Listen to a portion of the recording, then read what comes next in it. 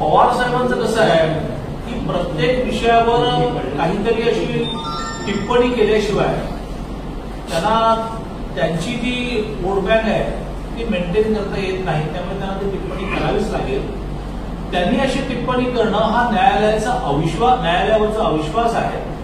आणि हाच प्रॉब्लेम गेली काही वर्ष काँग्रेस आणि राष्ट्रवादीच्या बाबतीमध्ये झाला आहे की स्वतःला मिळाला तो न्याय आणि इतरांना मिळाला तो न्याय नाही अन्याय. तुम्हाला न्याय मिळाला. म्हणजे नऊ महिन्यापूर्वी सरकार फॉर्म होताना सुप्रीम कोर्टाने निर्णय दिला तो न्याय. त्याला आम्ही आम्ही म्हटलं पाहिजे न्यायालयाने आमच्यावर अन्याय केला आणि मग आता बाबरी मस्जिदच्या विषयामध्ये सगळ्यांना निर्दोष सोडलं तर न्यायालय न्यायालयाला मोदीजींनी आणि योगीजींनी काय म्हणूया इन्स्पायर केलं अशा प्रकारचंच म्हणणं पवारचं आहे.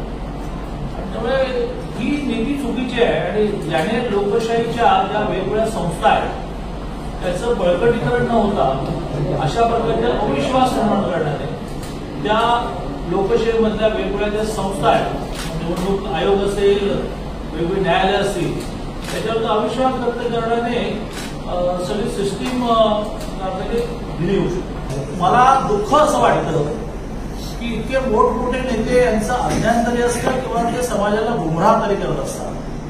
अज्ञान असं असं म्हणणं चुकीचं आहे तर पवारसाहेब खूपच मोठे आहेत.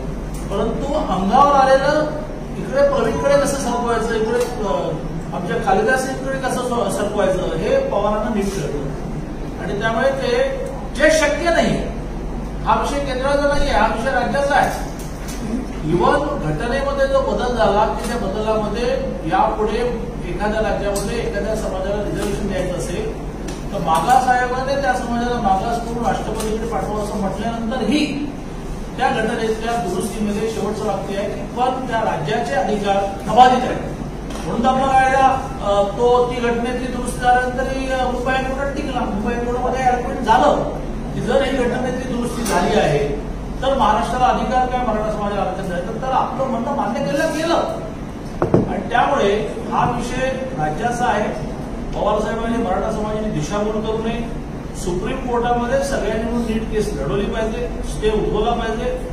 त्यामुळे आपल्या अंगावर आंदोलन आलं ते आता आपल्याला झेलता येत नाही. तर रोज काहीतरी नवीन नवीन मार्ग काढणं आणि मराठा समाजाची दिशाभूल करणे बरोबर.